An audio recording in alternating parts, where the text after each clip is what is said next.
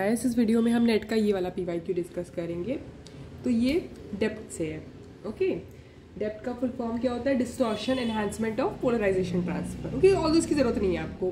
आपको बस आना चाहिए कि कैसे देखते हैं। तो देखिए, इसमें दो कॉन्सेप्ट होता है। अगर सी एच थ्री या सी एच है आपके पास तो उसका पॉजिटिव सिग्नल आता है। और अगर आपका नेगेटिव सिग्नल आ रहा है तो आपके पास ज़रूर इसमें सी एच टू है, ठीक है?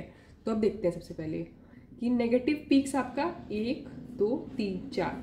चार नेगेटिव पीक है मतलब ये चार टू सी एच टू है उस कंपाउंड में ओके और पॉजिटिव पीक एक है मतलब इन दोनों में से कोई एक है चार सी एच टू है ये पक्का है चलिए पहले वाले कार्बन में देखते हैं ठीक है एक सी एच टू दो सी एच टू तीन सी एच टू चार सी एच टू ठीक है हो सकता है आंसर चार सी एच टू वाला सेटिस्फाई कर दिए या तो मिथाइल या तो सी एच हो मिथाइल तो नहीं है भाई लेकिन सी एच है यहाँ पे देखिए सी एच है तो ये होगा यही होगा इसका आंसर ये हो गया।